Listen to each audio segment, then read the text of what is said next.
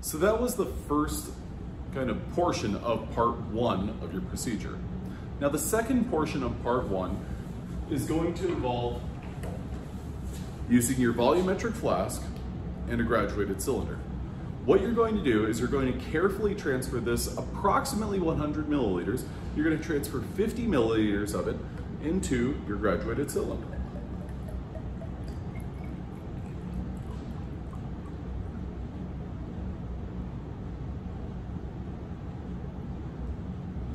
Once you've done that, the remaining solution here you'll discard into the appropriate waste container.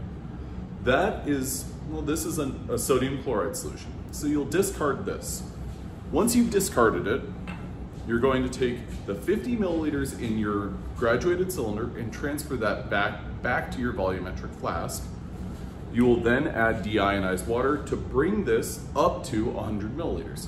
So what we did basically is we've made the solution in the volumetric flask one part of your initial solution, one part deionized water.